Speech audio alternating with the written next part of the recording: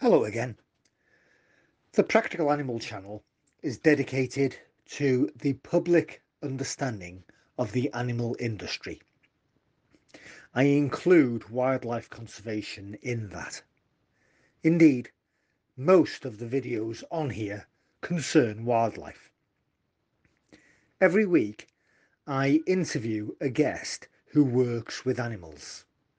I ask what motivates him or her to do what they do, often for very little financial reward and sometimes at great personal risk to themselves. Last week, I interviewed Dr. Karen Lawrence of the Johannesburg Wildlife Veterinary Hospital. This week, we stay with veterinary medicine as the theme, but we go to the other side of the world, to Brazil. I speak to Dr. Flavia Serra Shinicki, a vet from Western Brazil. She works with family pets, dogs and cats, and is a specialist in ultrasound scanning and radiology. When asked what motivates her, she replied it's the desire to do the best for her patients. One does not become a vet for the money it's interesting that when you study veterinary medicine, you need very quickly to consider which area of veterinary practice you're going to go into. There are three things to think about. Are you going to work with dogs and cats? Or are you going to work with farm animals? Or are you going to work with wildlife? I be- began by asking Flavia how she became a vet.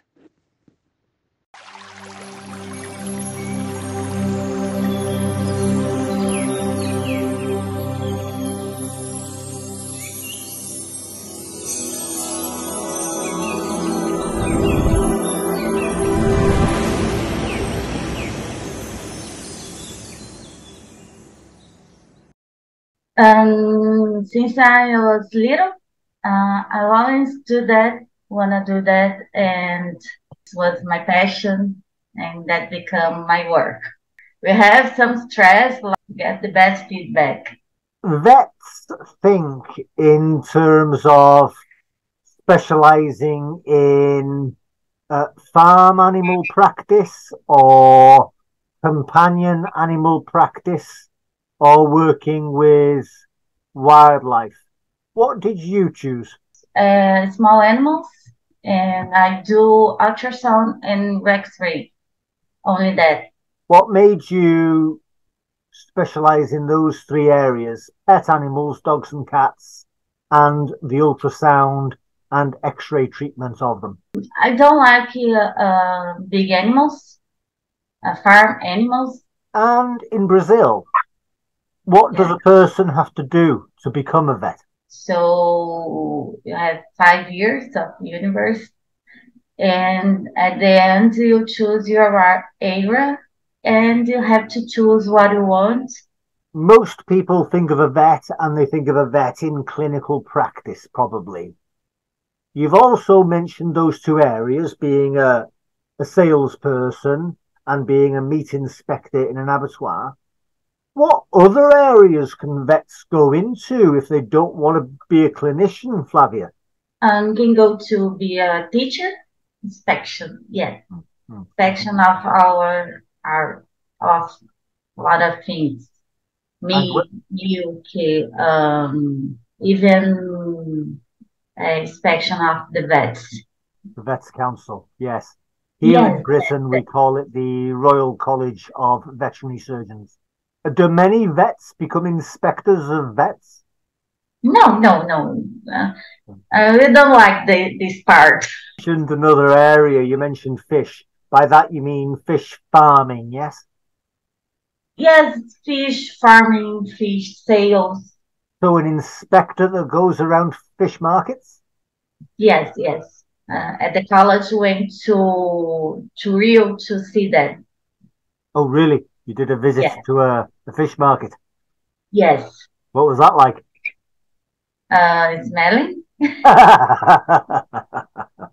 In Brazil, is there more income possibility, more money to be made with farm animals or pet animals or wildlife? There is a big, big, big area for horses, and you earn a lot if you are especially um, for farm animals. There is my cousin, he is a vet too, so he, she works in the farm animals, and she do ultrasound too.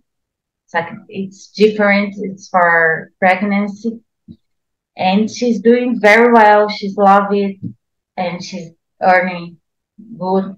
Flavia, how would you describe the veterinary profession in Brazil today? Are people working mostly in farm animals or with pets or with wildlife? Or are there fewer and fewer people going to vet school or is it increasing? What's the situation today? Um, I think it's more pet animals. I work at every every time. I didn't stop in epidemic time. I work every day. I was at the street. The streets were empty, empty. Um, every day was Sunday. There's no one. in The street was very weird, but I didn't stop. So in Brazil, I think it's pets. Yes, it's a big market, uh, even in the part of uh, sales things, uh, food, tricks. What about over the next uh, 10 years, Flavia? How do you see the veterinary profession changing?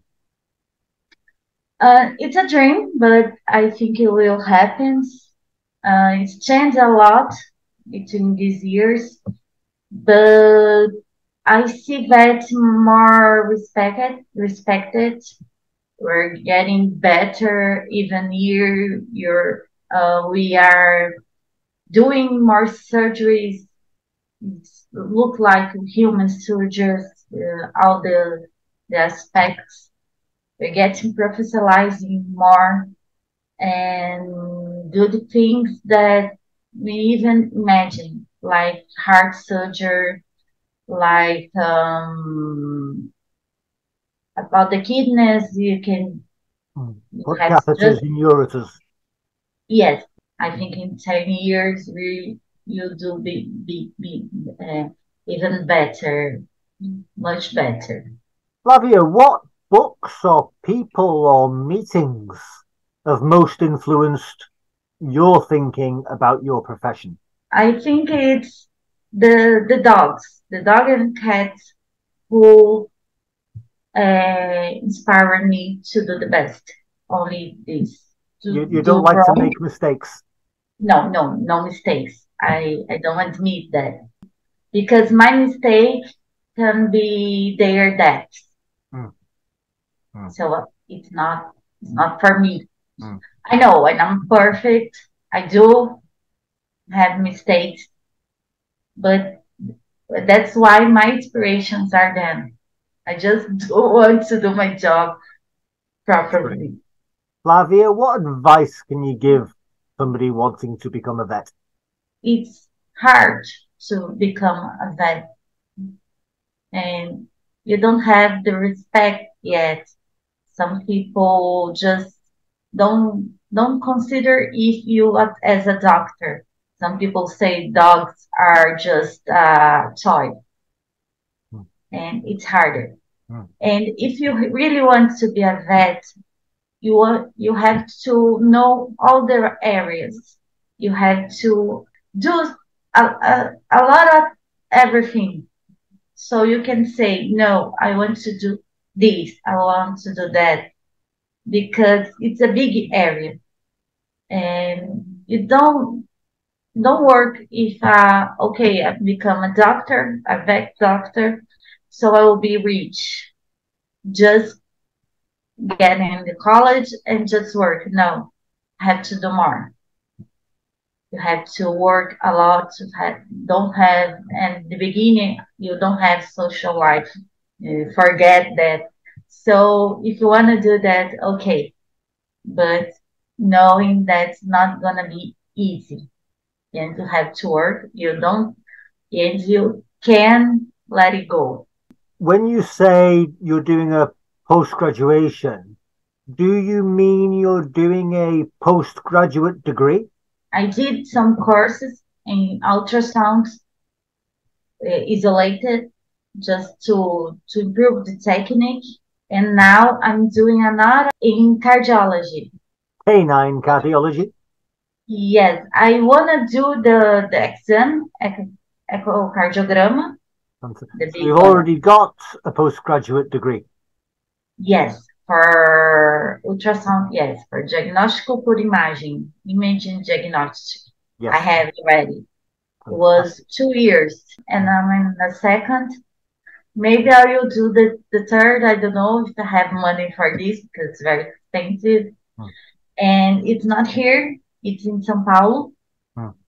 So I have to travel there. And the first was every month. Hmm. In this one, the actual one, I have online classes, so it's it's better. Now, for people who don't know, Brazil is continental in size. It's a huge country. You said you had to travel to Sao Paulo to study. Yes. What does that mean? Where are you in relation to Sao Paulo? Um, Mato Grosso. It's in the center of Brazil.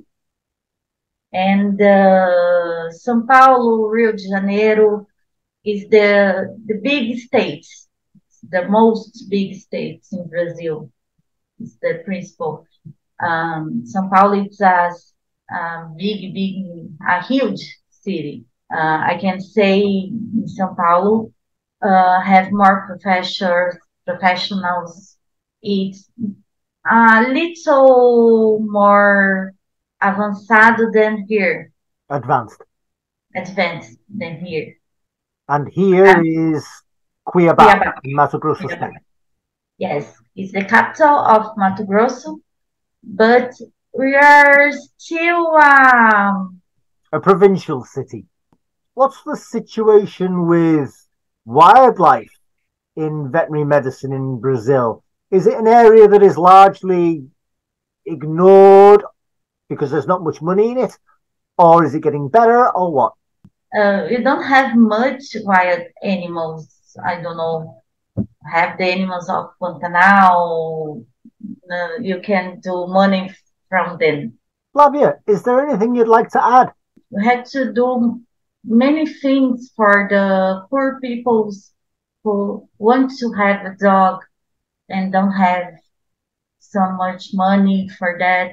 I have so much things to do just in the medical area, in the social area. And for this, if if you want to be a vet, okay, go through it, but go have a passion for no, don't don't do it for money, do for passion, for passion, and you'll do better.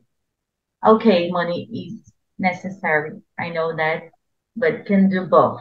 Flavia Sahashiniki, thank you very much for being on the Practical Animal channel. Thank you for inviting me.